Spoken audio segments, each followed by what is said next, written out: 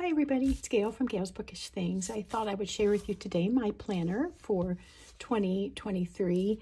I'm a little bit against the flow type person. I, I don't typically get a um, Hobonichi weeks or things like that. I, I need a little bit more space and I don't need a lot of extra pages. So this is the kind of thing I'm opting for.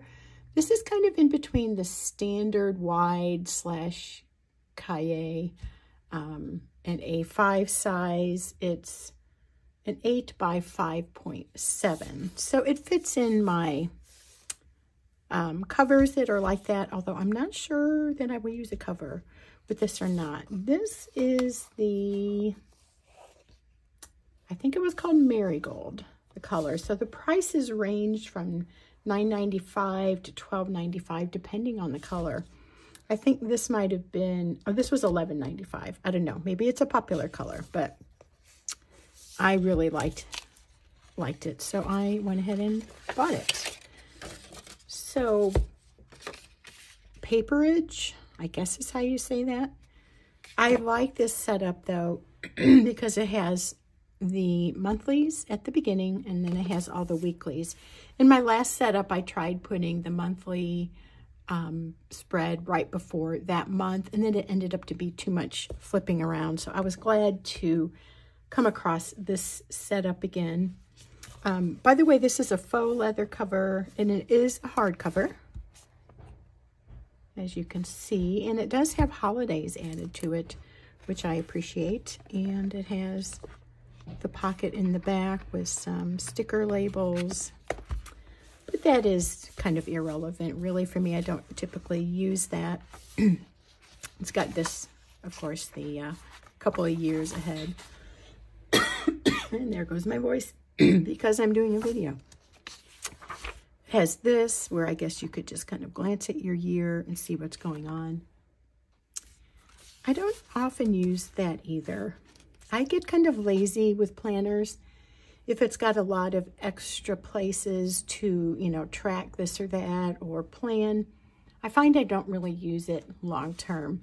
I just kind of prefer the um, basic stuff. So for example, here is the spread for January. I filled in birthdays, uh, appointments, things that I know about ahead of time, primarily birthdays and anniversaries. And then, of course, then when you get to that week, you have your just month broken down into a week.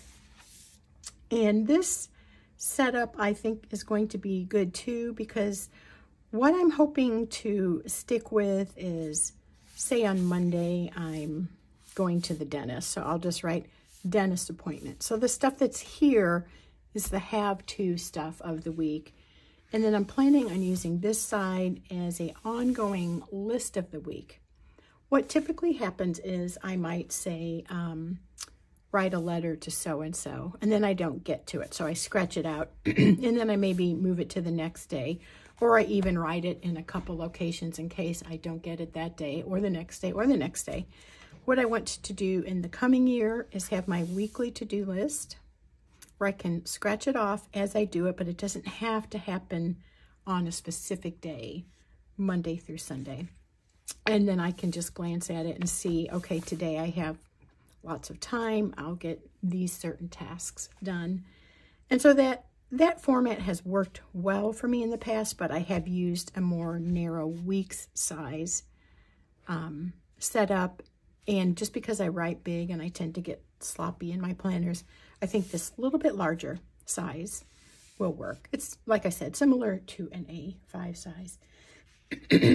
so that that is my plan.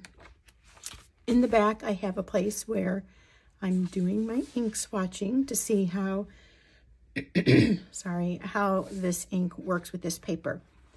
In the um, write-up or the review, it said that it was fountain pen friendly, and I would agree with that. It does seem to maybe not be as crisp of a look. There might be just the slightest bit of kind of a little bit of a feathering, but it's very smooth. It was very pleasant to do all this um, sampling on here. There is a little bit of bleed through though, as you can see. So not always, but it does tend to be where I did my little leaf drawing or whatever to, you know, kind of swatch the ink. Where the ink is more saturated, it has bled through some. So I will keep that in mind as I'm writing in my planner. And I may just use a regular ink pen. I know that's horrible to say, but sometimes that happens. Anyway, um, or I'll just use a fountain pen. I am excited about this though. I feel ready for the year. Sometimes I wait till like December or um, Christmas time to set up my new planner. Now I have it done and I did add these little tabs. should go back and talk about that in a minute.